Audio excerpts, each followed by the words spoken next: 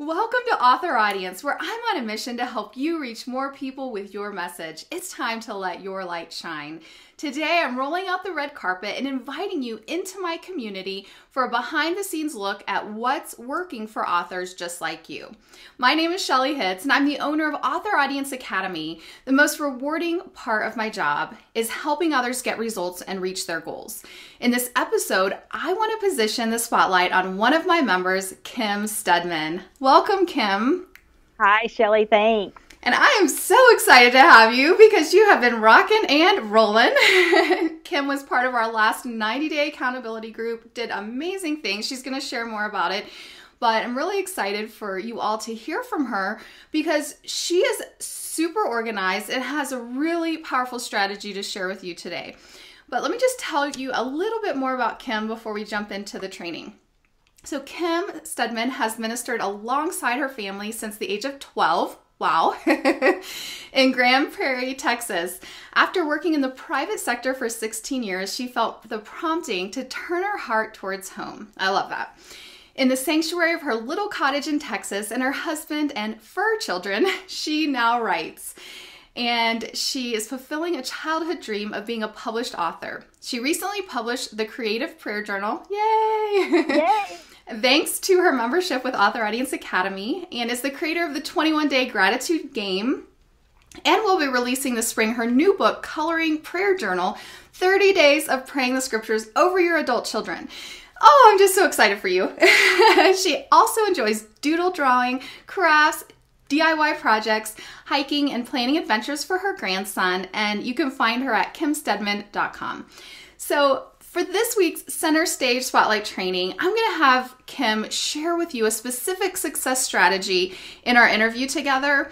And, you know, I'm excited to learn from each other in this episode all about what she's going to share. And it's all about how to stay organized during the publishing process so you can cross the finish line. So, welcome, Kim. And just to start off, share with us a little bit about your publishing journey and how you were able to stay organized throughout.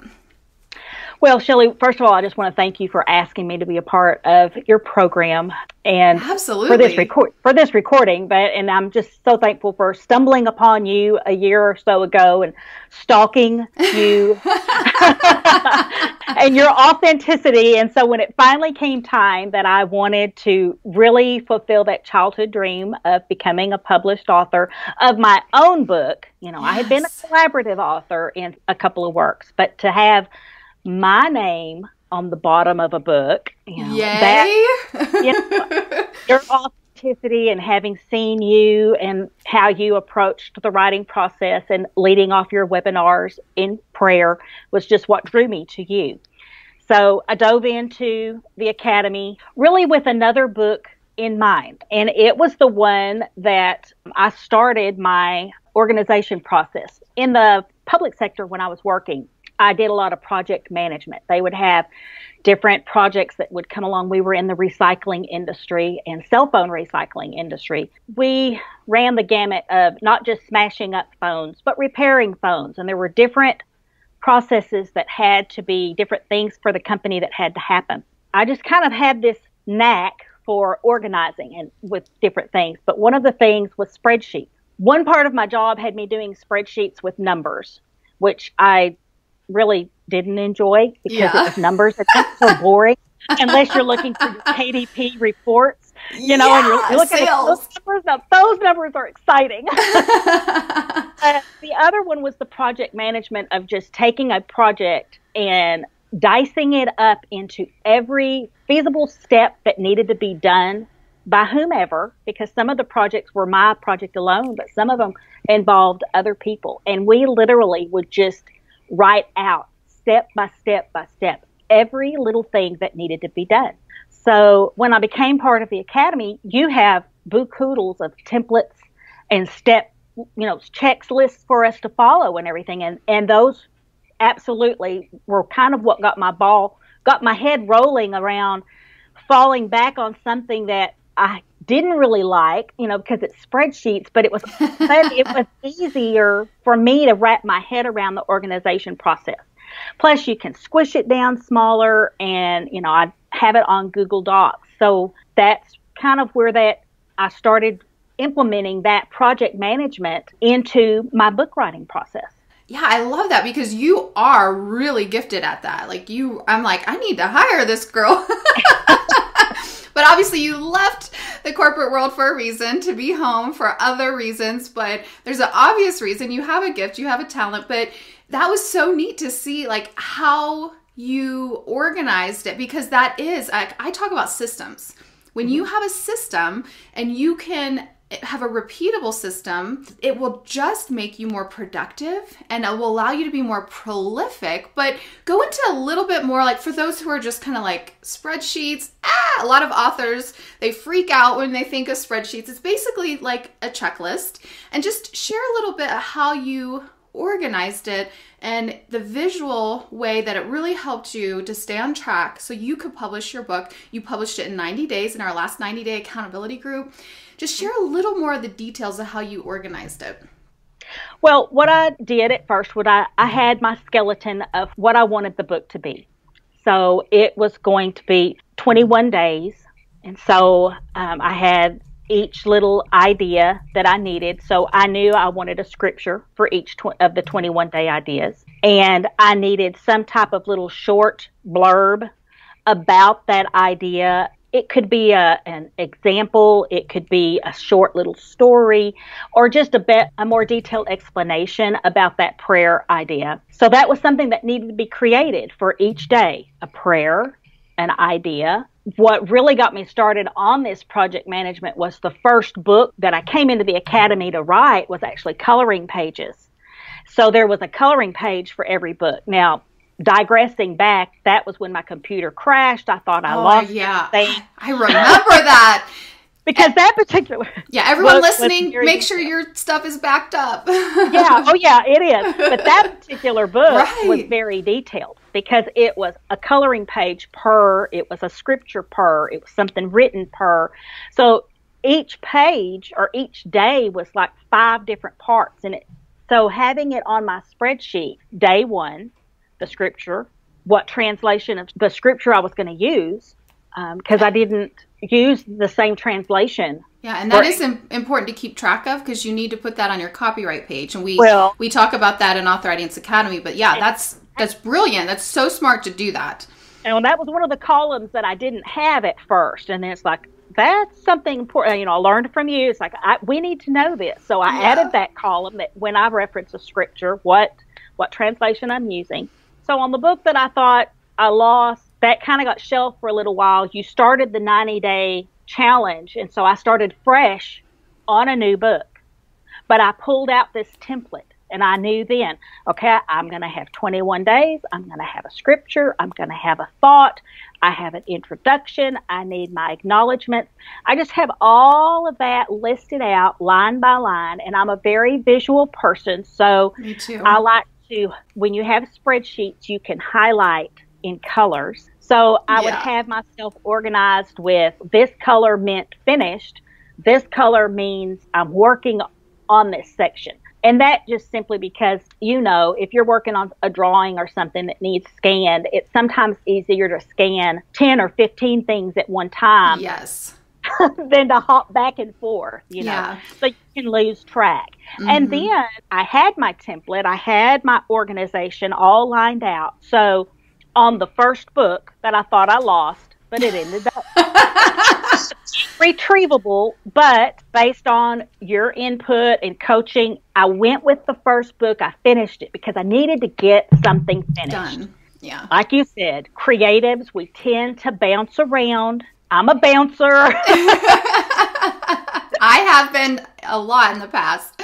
New ideas pop into my head. It's like, oh, bunny, chase that. So I thought, no, I've got my organization. I know that document's been retrieved. That book is retrieved. I'm going to stick to the 90 day plan for the creative prayer journal and my organization and got it finished. And so now that we finished that challenge, I was able to take my spreadsheet from where I left off and I know exactly where I left off. And so yeah. I can begin again. Yeah, and and I just looked it up again. Um, Kim was was um, willing enough to share and generous enough to share um, what she did, and I added it into our Author Writings Academy published module. So I just pulled it up again to look, and what you called it a book map, massive action plan, you know, book map, and I have an image of that in here, you know, um, and I just loved how organized you were and. One of the things I really think some people who write devotionals or those types of books, they don't always think through in the beginning what format do I want each devotional each day to be. And that's one of the things I've had to do, like with my 21 day books and different things as well, my devotionals. And that's something you did. You thought, okay, I want to have a prayer, I want to have thought, an image, coloring page. Um, what's the quote on the coloring page going to be? And you had that out, and so you knew that's what you needed. Those are it's kind of like a puzzle filling in the blanks. And once you kind of know the format you're going to do for that kind of book, it really makes it a lot easier. and you can just start filling in the blanks. And if you want to just work on coloring pages one day, go for it. You know, you can do that and then you can, you know, see exactly where you're at, exactly, exactly. what you've done. I've done this before in mind mapping software. Spreadsheets are awesome. Whatever you use, if it's pen and paper, you know, having a system is so powerful. And I just love the way that that you did that and how it just really kept you on track even when you thought you lost your book and then you came back around. What were some of the biggest things you learned as you went through the process with your first book? With the first book that actually got published? Yeah. well, first of all, the biggest takeaway is learning from somebody that's been through, has done the process like you because you can waste days oh, yeah. trying to hunt and peck and Google and find and is this and is this. And you'll get, you know, you may have a specific question about ISBN numbers. And depending on when an article was written, what you read may be incorrect because it may have been written in 2010. Sometimes some of those articles that right. you go back on websites aren't dated. Yeah. So you don't know if you're getting the current direction and, or instructions that you need. Yeah. So, you know, just having everything. I mean, I've said it to people before. I've and I've been plugging you to some other folks. Like, if you've got a question about it, she's got it in there. You just no, she's covered it because you've done it enough times. And well, so my biggest takeaway is yeah. And if you have a question, I I will create a new training or I'll tell you where to find it, you know. Yeah. Exactly. Yeah. I mean, so that's been my biggest thing that I've learned with this book is just having that community yes. that you've created within Author Audience Academy. I know me. I know that unfortunately, like many of us, when we have setbacks, sometimes instead of it being a little setback, yeah. we take it as a huge throwback. Right. And stop. But if you've got a community of folks that you can lean on for help, for advice, a little setback stays just that a little setback.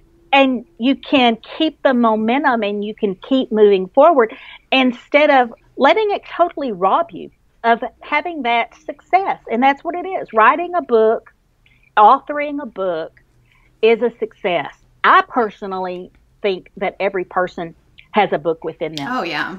Whether they too. think they can write, you know, a sentence or not, everyone mm-hmm. has a story. Everybody's right. got within them. Yeah, and you can work with a good editor, proofreaders. I mean, you don't have to be the best writer yourself. You know, you can work with ghostwriters even and such. But yeah, I mean, the community is so powerful and so key. And I had created products for years without the community component. And it's a night and day difference when you have that active community helping and supporting, and you're very active and, you know, just helping people. And it's just, I love it. I love that. And what happens a lot of times in life, and I think what you were kind of explaining, to me, it's like summed up in the words self sabotage sometimes mm-hmm. things happen and we just we get into that sabotage and whether it's mindset like, I'm not good enough. Who am I to write a book? I don't know what I'm doing. Or it's technical problems, you know, like you losing your book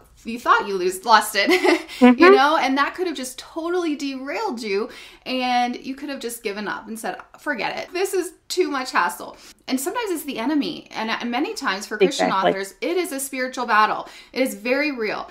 And so sometimes the enemy comes at us with his lies of just give up. Why are you doing this? You know, it's not worth it. And it's like, mm-hmm. it's so easy to give in to some form of sabotage, whether it's self sabotage or others other such and that is the power of community I, have seen it. I've seen it firsthand, and I saw the power with the 90 Day Accountability Group and the momentum everyone had, and all the books that were published. And I'm so excited.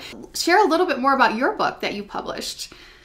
Well, I happen to have it right here. It's creative. Yay! the Creative Prayer Journal, a 21 day prayer challenge. Referencing back to the book that I thought that I lost, but I didn't lose, and you know, that will forever be part of my author story. It will. It is. It is your story. it is my story. But the book I was originally working on was, and still is, a passion heart project to create a prayer journal for my mom, who oh. is a two-time stroke survivor. Wow. And one of the things that has been her problem, because I mean, she's she's been a, she's a pastor's wife. We've been in ministry since '77 but that stroke took away her short term memory. And she has a really hard time remembering things and she has a really hard time staying on task with something. And prayer was one of those things mm-hmm. that affected to where when she sat down to pray, her, her she just couldn't keep her mind focused the way she used to. So that first book was kind of you know, I I went around with some different prayer creative prayer ideas and kind of focused in on the coloring page and um, a fill in the blank prayer because that's through talking with her, that was one of the things that she really needed help with. She wanted to pray specifically for people, but she needed a guided prayer where oh, she wow. could insert their names. I love that. And, yeah. And so, in the course of doing that with her, and then some, when I was in the corporate world and had some stress, I had this pile of all these different creative ways to pray. Even some of them were ways that I taught little kids when I taught Sunday school years ago. And so by following your example that you teach an author audience about, you know, looking at the big picture and how the funnel can go and which book can lead to what, I kind of looked at all those ideas and the fact that the book that I was working on that I thought I lost but I didn't lose incorporated two of my little basket of prayer ideas, creative prayer ideas. So I just took all those creative prayer ideas and put them into one book so that it's a journal. You do it for 21 days, and every day you're praying by some different little creative prayer idea. Fun. So, really, technically, I could write a book, I could do another prayer journal for each idea. You know, if I wanted to do 21 different books, oh, because. Oh, yeah, for sure. Each, I mean, you have a series right there, girl. Uh, well, I was, I was coming through it this morning as I was doing my own. I, like, oh, I could I could pray this way. In fact, one of the hand prayers, which is the prayer hand, where you know each finger, the thumb, you oh, pray yeah. for to you. And I heard on the television one of the ministers was preaching that prayer idea and was challenging his congregation to pray the prayer hand for 21 days. Every day, prayer the prayer hand. I was yeah. like, "You're taking my idea." that's okay. It's your idea too, but you know that's yeah. like you know. Well, sometimes it's confirmation from God when you hear or you get other things. Like I've I've had that happen too, and it's like, oh, that's actually confirmation. Like that. That's you know something that would be be valuable but you know god will lead you in that but yeah that's so exciting now if someone would like to get that book or find out more about you or connect with you online what's the best way for them to do that well three main places if they want to get the book they can go to the creativeprayerjournal.com and that will lead them right into the page and they can click the Amazon button. I'm on Facebook at The Refeathered Nest, which is my Facebook page where I help empty nest moms encourage them to repurpose and redesign their life um, according to God's master plan after the kids leave the nest. And then, you know, you can just see what I'm blogging about and what all's up in my little blogosphere on kimstead.com. Well, that is awesome. I love, love, love all that you're doing. And I know we could talk for hours because you're a wealth of information and just from your corporate background and all that you, you're doing and how that can help authors. And I love how, how much you share. Not only did you share your book mapping system, which I have now as a module in Author Writings Academy, you also put all of the published training into an Excel spreadsheet and you shared Sorry. that.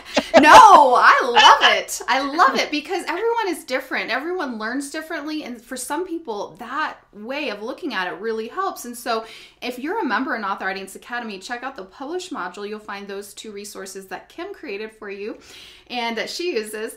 I just am excited to see what's ahead for you. As we close, I would love for you to share just a take action tip. Those that have been listening, what could they do as a result of hearing this this training today? I think uh, the biggest tip that I can give you is to write down all the steps that you need to do for writing your book. Just get it all out on one piece of paper if you haven't done that yet. I wanted to write a book for years, but you know, I didn't. And it's because you know, I had sticky notes here, this and that. But once I started funneling in all these ideas on one sheet of paper, two sheets, three sheets, everything. So just write down and get that organization going. If you get organized, you're you've jumped over the biggest hurdle to getting your book published. Yes, I totally agree. I preach this, teach this I live by it and I don't always do it perfectly, but when I do, like for instance, this interview, I haven't had an interview for a while, but I went back to my system, to my checklist. I had created a checklist for what I do in these interviews and it was all right there for me. And so sometimes when you publish a book, you don't publish one another one for a while, but if you have your system and if you have your checklist of what you did and how you did it, it's just going to come back and you're going to be like, oh, yeah, that's what I did. Oh, yeah, that's how I got that ISBN, or that's what I did for this particular image, or, you know, and, and so it is really important. Document as you go and have some sort of central location to keep it. and you can either use Kim's system or use a system that works best for you. I always say don't try to shove a round peg into a square hole be who God has created you to be. And so if you just need pen and markers, go for it. If you want to mm-hmm. use mind mapping, go for it. If you want to use Evernote or Trello or some sort of online system, go for it. Canva and Flow. I know some of our members use Canva mm-hmm. and Flow. Whatever works best for you, but this is such an important tip. So, wherever you're at in the process right now, even if you're in the marketing process, you can apply this tip today. Start writing down your systems. Start exactly. writing down what you're doing. And that way, it saves brain power. That it actually, research has shown it will save energy and brain power because you won't have to think about remembering it. It's all written out already for you. But it will help you cross that finish line, get your book published, or sell more books, develop a marketing system, whatever process you're at, it will definitely make a difference. So, thank you so much, Kim, for being here, for sharing, and I'm just so excited for you. So, thank you again for your willingness to share. Oh, thanks for having me, Shelley. And thank you, everyone, for listening in, and I will see you next time. Bye bye.